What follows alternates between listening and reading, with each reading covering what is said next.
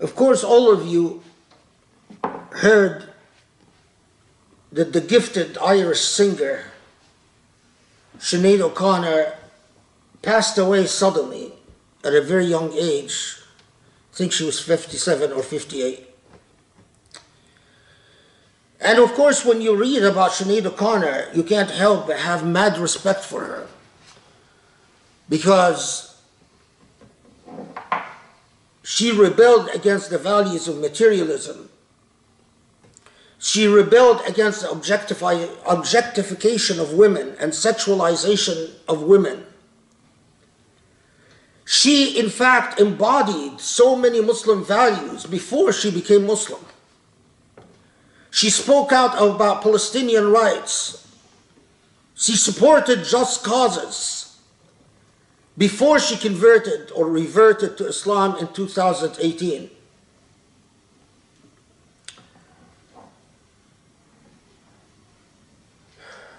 I was struck, however, subhanAllah, that in the same week that Sinead O'Connor passed away, there was another figure of public note who passed away, the Muslim scholar Shabbir Akhtar.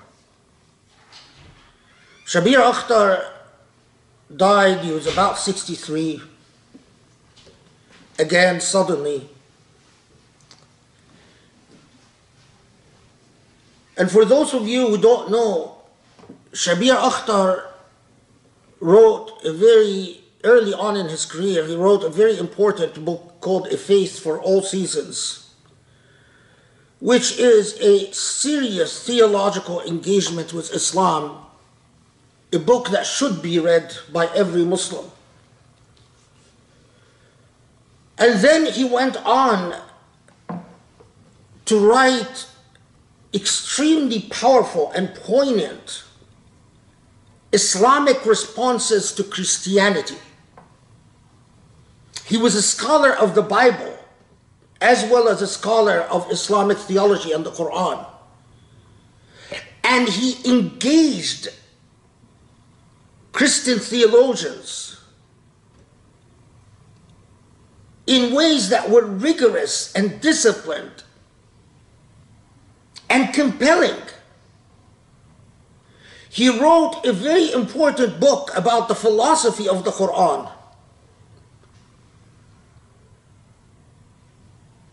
A book that shows how and why the Quran is so critical for this age and is a book that has compelling answers for so many of the problems of humanity in our age. But of course, I couldn't help but take note and compare with a certain level of melancholy between the response to Sinead O'Connor and the response to Shabbir Akhtar. And then compare this to the response to the passing away of Ahmad Jamal, the black jazz musician, Muslim musician. Is it because Sinead O'Connor is white that so many Muslims, more Muslims, responded to Sinead O'Connor than they did to Jamal Ahmed? Of course, I could say it's because she was in pop music as opposed to jazz music. But my moral duty for moral duty to engage in self reflection and self analysis, I must critically reflect upon the racial issue before chalking it up to styles of music. There is no cop out before Allah. The comfortable road is often exactly what leads to the shaitan, not to God. The comfortable road is to find excuses for why we responded to Sister Sinead O'Connor far more profoundly than we did to a black Muslim jazz musician. And because I am duty bound to engage in the moral path, in the path of critical self reflection, I must ask myself the really hard question Does race play a role in your consciousness? Does race play a role in your being? But even beyond that, you all notice how the disparity and the difference between our response to a gifted, talented sister in music as opposed to a scholar. My problem is not just that most mosques, I am sure, most mosques and most imams probably never heard of Shabbir Akhtar. Never even thought of Shabbir Akhtar. Leave alone thought of ever inviting Shabbir Akhtar to lecture in any of their institutions. And so when he dies, the vast majority of Muslims are silent. Another scholar bit the dust. But what is more tragic for me is I am sure that the percentage of Muslims that read Shabbir Akhtar is minuscule.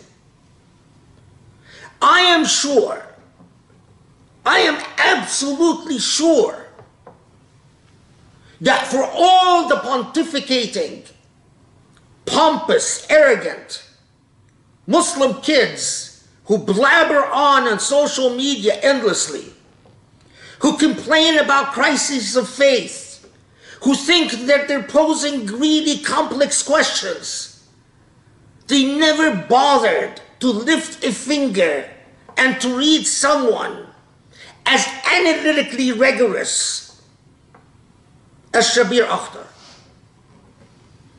No one bothered to read his work on Muslim, early work on Muslim theology, He sees it for All Faiths. No one bothered to read his work responding to Christianity. No one bothered to read his work on secularism because he wrote a philosophical Islamic response to secularism. No one bothered to read his work on the philosophy of the Quran. No one bothered. We Muslims love to pretend that we are in a moral crisis, intellectual crisis. I have questions that can't be answered. Oh my God, I'm having a crisis of faith. Help me. But lift a book, read the text, know a scholar. God forbid this is also part of our current affairs. Allah told us that the ulama are the inheritors. This is a hadith from the Prophet والسلام, that the ulama are the inheritors of the prophets. And we made ulama mean like those people who are effectively a computer repository of hadith, who can just regurgitate hadith back at you. These are our ulama.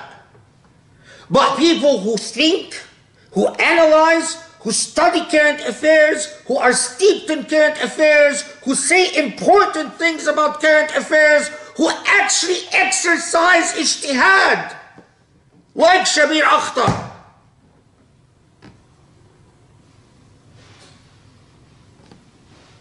No. We have no particular use for them. If we're lucky, when they die, you'll have a couple of sources that will say something nice about them, and we move on. This is why there's the plight of the Muslim Ummah. This is why it would simply be unjust for Allah to help us because we are an unjust people. We are an ignorant people. We are not that thinking Muslim that I referred to at the beginning. The thinking, reflecting Muslims who reads current affairs with a mind towards true ijtihad to respond to the realities of our age in a meaningful and most importantly of all, in a moral, moral and virtuous way. اللهم اغفر لنا اللهم اعف عنا عنا اللهم اهدنا لأقرب من هذا رشدا Allah forgive our sins. Allah guide us to be better Muslims, to be true Muslims. Allah, Ya Rab, help us to be thinking Muslims, reflecting Muslims, who read our world correctly and who craft a response to the challenges of our world meaningfully, significantly, morally, and beautifully. Ya Allah, Ya Ali, Ya Azim. وصلي وسلم وبارك على محمد وآله وصحبه وأقم الصلاة.